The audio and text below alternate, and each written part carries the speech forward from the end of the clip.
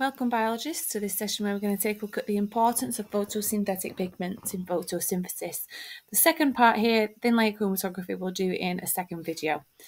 So from the previous video, we should remember that the chloroplast has a lot of thylakoid membranes in there, and that creates a large surface area for these photosynthetic pigments to be attached to.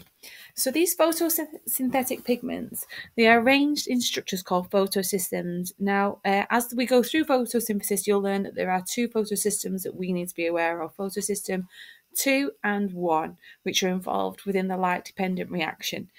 Now, within these photosystems, we have pigments, and these pigments are arranged in a funnel shape called the antennae complex, which you can see within this image here.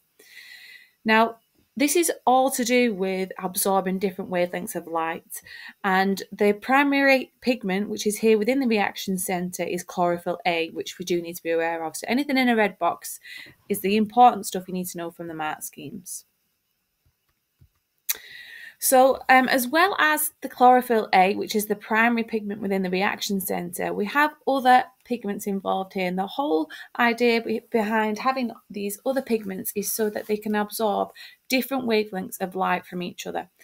Um, and this allows more energy to be absorbed from the light to be passed on to electrons.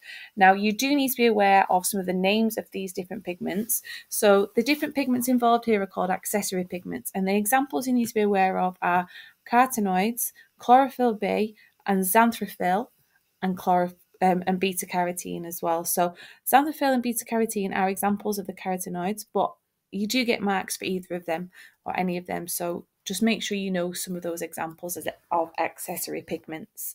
So the way that these work is first of all, these different pigments absorb different wavelengths of light or photons of light. It's really important here that you don't say they just absorb light. You have to say different wavelengths or photons of light.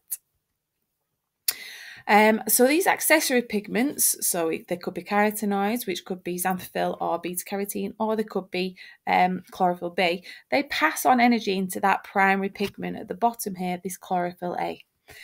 And the range of accessory pigments that the, the photosystem has allows a range of wavelengths to be absorbed.